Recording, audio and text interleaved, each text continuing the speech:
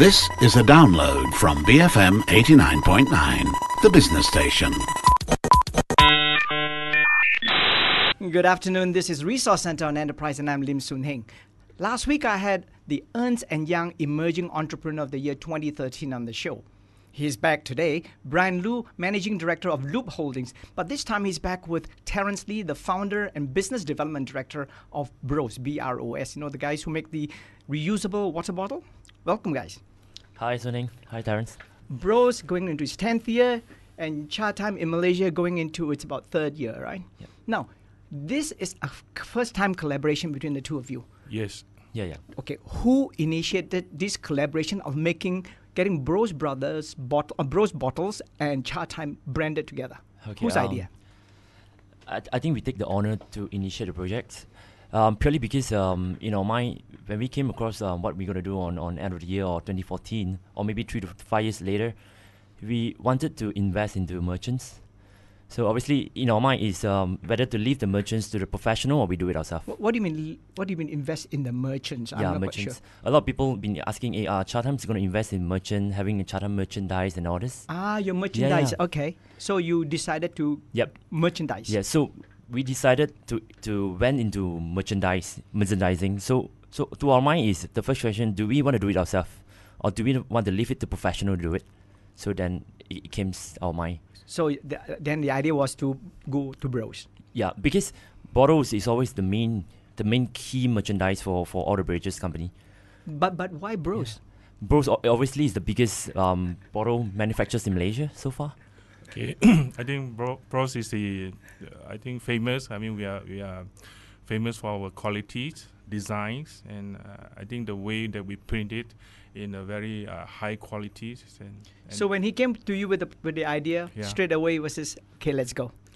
Yeah, I think usually what we do is uh, we, we will see whether this collaboration is really uh, matched with our uh, brand's uh, value. I think Chatime want to uh, promote this uh, refillable water bottle, which is care for the environment. I think it's a very uh, good uh, step. And secondly, also I think the idea also they they also promote a lot of uh, local artists. Yeah. Okay, tell me about this Yeah. collaboration. So it's, Yeah. it's about the water bottles and it's also about the local artists. Yeah, um, I think brand region is very important. Getting a line of both brand regions is there to kickstart the entire project. So when we go to bro- Bros, everything went in uh, went easily, or the conversation was so comfortable because we are serving the same brand regions. Is to go into eco-friendly stuff, Mm-hmm. and on the other side, we are supporting the local art scene. Yeah, but actually, uh, you based if I if I understand Chatime correctly, you Yep. get all these disposable plastic Yep, plugs, yep, cups, yeah, right? So. Bros is not that yes. one. Um, as everyone know, the, the government had been been encouraging um, people of um, using less plastic and all this thing. O- obviously, that was always in our top of the mind, how to reduce plastic. But to us, we can't reduce big way because we still have to use the cup. You see. Mm. So, but what we can provide internal alternative or options? Could it be a, a, a bottle where people can constantly re- reusable the bottles, so we reduce the, the plastic usage and everything. So when we thought of reusable bottle, Bros came in the first picture because obviously they are Reusable. Yes, they are Mm. reusable, and that's their brand regions. Yeah. And then, i- of course, is the artwork, because Bros also have this. All your bottles have kind of Yeah. interesting designs on them. Yeah, always we have uh, connecting with interesting design, and I think in year 2012 also we we also invite uh, local artists to put their design on the on our bottles, and uh, it get a very uh, very successful uh, response and impact because uh, we just let those those uh, local artists have a converse. I mean, like a converse put on the bottles, and, Uh-huh. and they, they can introduce their work and introduce all those uh, local young artists to the public. yeah. So to date, how many young artists have you worked with? Uh, we beside all those artists on and off, we also we collaborate with them, and also there are some art schools, uh, college, and we also run uh, run some uh, live project. We go there and teach them how to produ- to, to design a bottle, and if their artwork is fine, then we will produce the, their artwork on the bottle and sell it to the public. For That's this good. project, Yep. who are the artists and how did you engage them? Okay, um, for this project, we have um, we have identified three good artists. They are all the renowned local artists, and these three three artists is nothing unusual. They've been working with us in our projects. We've been supporting local arts since since day one, and some of the designer is already clo- um, um, they, are- they are designing our Thirsty member card, Thirsty card. They are designing our our cup sailor. They are designing all our artwork and everything. So these three people is nothing unusual. They are very talented. They are known quantities. You know who Yes. they are, and you and you didn't go around and run a competition to find Yes. new people. Uh, I think not necessary. I think uh, we, we have the contact because we also not just in the bottle industry because we provide design and we are we are very familiar with the designs uh, and this uh, Exactly. Obviously, um, bro is pro- providing us the guideline. yeah, Uh, what, what kind of design should be more appealing to public and everything. yeah, yeah. So we, we get a three um, designer that have been working with us for, for quite some time. Because last um, on December July we have actually launched our initiative called Support Malaysia Bobahan Tempatan. So on that scene we actually supported 40 different local artists. Uh-huh. So from from that initiative we actually picked up three good artists to conduct another round of um, initiative to maximize or their exposure to the markets. Bryan, I, I, guess your interest in artists stems from the fact that you are you, Yeah, you yeah. like drawing yourself, yeah, right? I'm, I'm personally uh, I'm a big art lover. Ob- obviously, fall back when I'm in childhood, I, I actually draw a lot of comic when I was age of seven. I rent it out to all my, my classmates for 50 cents per reading. so that, that's how I earn my pocket money for recess. a businessman from the very start. yes. Thank you. now, from from from this collaboration, so what exactly will happen? In like, how many kinds of bottles are out there? How are you distributing them? How are people acquiring them? Okay, at the first stage, uh, we will uh, we have total have three designs, and we will have ten thousand bottles at uh, Chatime, one hundred and five stores, selling starting in uh, December, and then uh, starting in March, uh, mid of March, then we will start selling at the retail sites. But When Yeah. you talk about retail side, what what are the retail sites? I mean, I know bros are sold in like department stores. Yeah. I mean, Chatime is just Chatime. So Yeah. when you talk about retail sites, are you are you talking about? I'm talking about department store like uh, Jusco, Metro, uh, Robinson, Isetan, or hypermarket like Tesco, and, and so on and so forth. And I think almost a major department store and hypermarket, and we they will see uh, Chatime bottle as well, Yeah. starting from March. Yeah. How complex is this whole process of you know meeting up, deciding on what kinds of bottles, deciding on the designs, Mm. d- deciding on the cost? I assume, assume Yeah. also, and then also the distributing distribution channels. I think the, the complicated part is to the, the initial part is to get aligned with both visions. So if we came in with the same visions, then we are good to go. It's just that we need to pin down all the details, how we go go around all this initiative. So we came in quite easily where we achieve about thirty percent um, process before we move on. Where the the vision is basically aligned when we came in together.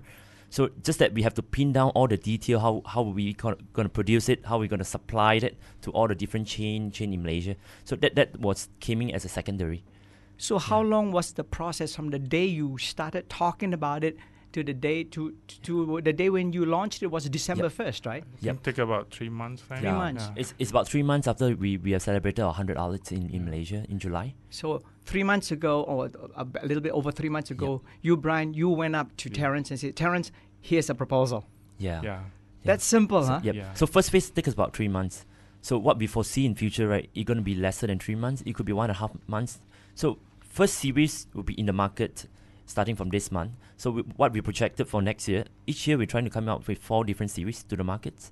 So that's why we came to a limited bottle of 10,000 bottle. So when it out off, which means that you couldn't get it elsewhere. Bryan Loo of Chatime and Terence Lee of Bros. We are talking about a collaboration between these two brands for mutual benefit to grow their respective businesses. Coming up shortly, as they say, the devil is in the details. I know they've been working for, together for three months, working out the details. Well, let's find out about the details. This is Resource Center on Enterprise, BFM 89.9, the business station. Honey, I have good news! The CIMB Bank cashback is here again! For 500 ringgit spent in a week, we stand to get 100 ringgit cashback. And if we spend 1,500 ringgit in a week, we stand to get 350 ringgit cashback. All this by using my CIMB Bank credit or debit card. Really? What can we spend on? We can spend on dining, groceries, fashion, and at departmental stores from now till 2nd February 2014. Great! Let's start this evening. I'll pick you up after work. But wait, how do we participate? Just register via SMS. Visit www.cimbbank.com.my to find out how. Terms and conditions apply. CIMB Bank cashback, here we come! Good morning, it's the 6th of Good morning, November. I'm headlines and this morning we start the. We know you don't have time to flip through the headlines, so we're doing it for you. Online, that is. The funny, the salacious, the serious, the controversial. So let us be your aggregator on your computer, your phone, or even your tablet. BFM Morning Headlines every weekday at video.bfm.my. Beyond Frivolous Matters, BFM 89.9.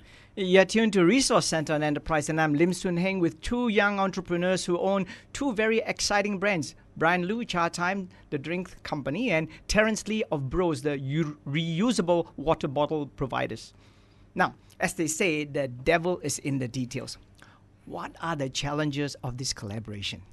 Don't tell me none, huh? Okay. I think uh, for me, it's uh, not uh, the direction is is most important. It's whether we share the same same value, whether we, we are going to the, the correct direction, and that is the part that I think it takes us uh, uh, a lot of time to discuss and, and whether we can go on this direction, whether it is good for Chatime or is whether yeah. Yeah, when you talk about the direction, Yeah. what kinds of questions were you answering?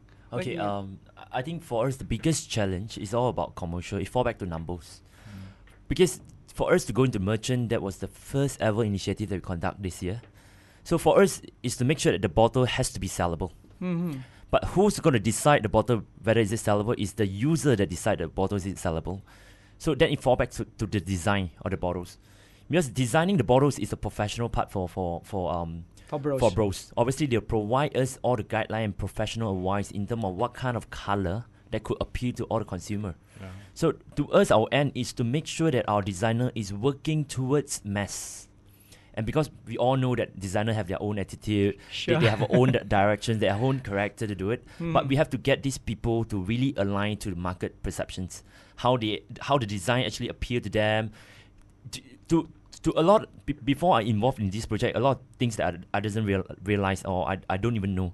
Actually, a cup a cap color could also influence the buyer. Yes. Wow. Yeah. Wow. So this So- is all information that you got from Bros. Yes, the professional information we granted and working very closely with um, manufacturers, which mean the bros together, because to make sure that these three bottles will immediately appeal to the general public. So from one perspective, I understand then, Bros, you were the consultant. He is the Yes. the guy who is buying from you. I would say not only consultant is part of the consultant, but also I think the ideas, the, the design also come from Chatime. It is not only we are doing the consultant job. Of course, I mean from a market experience, we got to feedback what color is really Exactly. working. Because some of the color, whether we, we think that is the color we want to try, but most of the time when we try it, we die. we can't sell it. Sometimes we have to change our car, the cap by ourselves because that is I not think just share, share something with um, Yeah. Soon Heng, something that we have not not um, actually um, k- telling the market is actually we were supposed to came out with four design, Uh-huh. and after uh, after that to the last stage we actually dropped one design. And because this design, both end was agreed that it's not going to appeal to the markets. And if we were to launch it, that's going to be a very big challenge of how to market it and get it sellable to, to, the, Mm. to the public. So we actually dropped one of the design. In a sense, who bears the risk? Because I understand Chatime is trying to merchandise, so it's buying from you. So f- as a producer, then you really have n- no risk. You just you want ten thousand, I sell you ten thousand. Okay, I think that's ten thousand is for the first initial stage, but uh, later on also Bros is going to market the Chatime bottles, and that is going to produce by by uh, Bros ourselves, and we will sell it at the retail uh, channels, uh, those supermarket. And so that that one you will have to bear the cost Yes, of of production course. and everything. Exactly. yeah, exactly. and we bear the uh, cost of the sales and the ch- Yes. promotion, and yeah. When you do something like this in this Yes. collaboration, who is responsible for the marketing messages? Because you know you are marketing bottles and selling bottles. Yep. You are selling drink. Yep. Yeah. So how do you go about with a k- somehow a, a unified voice? I think in this, we, we actually came into a very balanced point where both of us actually step up to conduct marketing initiative in both different way s- to, to market this whole initiative. So from Bro's way, he actually covered up all the press release and everything. For us, we actually do it more on, on the ground, on the ground initiative and everything. So that's came up to be entire ecosystem. Hmm. And And also that- at the, yeah. at the at the retail also we had the POP and all those messages that come out to just to introduce to the consumer that looks you have Chatime bottle and when you buy the bottle you you bring back to Chatime you can get a 10% 10% discount. discount for Yeah, the uh, exactly. drinks. Yeah. So even at um, once you start selling uh, your bottles through the department stores Yeah. in March, they this these bottles too will qualify for the ten percent Yes, discount exactly. yes. Exactly. as long as they have the Chatime and Bros branding on it. Yes. Yes, yes. Now, when, when I think of Bros and I think of water bottles, and I also went to your website, lah. Yes. I'm, I'm, yeah, I'm surely I'm. You, you think I'm digging? eh? of course, I'm digging. You know, Bros is about you know water bottle, and there- there's this kind of message that you have about as more people understand the importance of choosing to drink water over sweet drinks. Yeah. Straight away, I said, ah, you know, Chatime is all about sweet drinks. ah. This uh, Bros is about water. Is, Well- is there a conflict there? I think th- there are a lot of sweet drinks out there, but if you look at uh, Chatime's, uh, when you go to the store, you see they will ask you whether you need a half sugar or, or, Yeah. qu- or quarter Yeah. sugar. Yeah. Then, then that is a part that Chatime promote for, for healthier living. I, Less I, sugar. I think I can clarify this part. I, I think I think we, we from Chatime perspective we can clarify this part. Actually, first we came out with the bottles, and from from this bottle vision, we understand that Bros is actually pushing people to drink more water, and that's actually quite aligned with what, what our vision is. Which means that for our user, if they bought these Bros and Chatime bottle collections, actually from a part of just drinking Chatime, we encourage them to drink more water. That, so that was the ultimate goal to Mm. provide healthy to the consumer that we have today. So that that's actually where the brand direction is going towards too. So for us, it's not only to encouraging people to reusable re- reuse the bottle in Chatime outlets, but actually putting in the office or at home or wherever it is, but to encourage them to drink more water. How are you going to measure the success of this campaign? If we fall back to the commercial part, obviously we look at the numbers. Whether you can sell all the 10,000 yes, or not. exactly. But And both al- end, we are actually very confident that we can achieve 10,000 bottle out in the market as soon as possible. So because we are on the pathway, we are on the pathway, and um, yeah, and on brand region side, obviously we have achieved a lot of PR value out there, and a lot of magazine actually fascinating with this topic, and they start picking it up and start conducting all the interview, because in the market they have yet to see a beverages with a FMCG products that collaborate together, and have shared s- so-called the same Hmm. visions. Go ahead. my I think my own measure will be when you see people bringing your bottles or bringing Chatime bottle and return to Chatime. I think that is something that I would say is is a ROI or is a return of the success. I think I I don't really look at a lot of numbers that represent the successful. I, You don't look at numbers. Yeah, I, I look at, but I don't really look at it. to, to, to us, it's more on a strategy on Yes. customer retentions. yeah. Uh-huh. Yeah, retain the customer, you know, uh, i- i- with our brands and everything, created a brand presence. Even though they're sitting on an office table, the bottle is up there. yeah. So the brand presence is there, creating brand presence and also customer retentions. In a collaboration like this, uh, Yeah. Terence and, and Bryan, how much of you know your relationship matters, or is it you know if, if somebody else with a different drink brand came up to you and he said, yeah, if we talk and if things work out, we'll just work out. Or that you know, it, you are doing this because something about Bryan makes you trust him, and same applies to you, Bryan. That some place you apply to him also. Um, to me, uh, Soon Heng, every collaboration to us is just like a marriage. We have to make sure the relationship has to going sustainable and in long run. For us, I felt that Bros came in very timely because we are looking for a very good merchants partner to work with. And this bottle, this initiative, first series that came out, three bottle, is just the first initiative. So what we're looking after in 2014 and maybe year onwards is to launch at least four series every year, you see. So that, that was the marriage between Hmm. both brands. And we, to us, we find that the the whole relationship, the ecosystem was so healthy that we found comfortable to move on because both of them is served back to the same brand visions. You're keeping it to the brand, although you're using the, the, the metaphor of Yes. marriage. Um, since you use the metaphor, I'm going to ask you this. If you have a sister, and I know you have a sister, would you let him marry Terence? And Terence, if you have a sister, would you let him marry Bryan? Yeah, I think uh, I'll I'll consider that i- You cons- if if Terence is a big fan of Chatime. Okay. For me, I say, I say it takes time because we know each other from the beginning and the trust built from time to time. And I think it's, it's possible, I would say it's possible, yeah. hey, thank you, folks. Terence Lee, founder and business development director of Bros, which is under the Living Wing uh, Sdn Bhd. Bryan Loo, Managing Director of Loob Holding, the company that holds the master franchisor of Chatime in Malaysia. This is Resource Center on Enterprise, and I'm Lim Soon Heng, BFM 89.9, the business station. Thank you for listening to this podcast. To find more great interviews, go to bfm.my or find us on iTunes. BFM 89.9, the business station.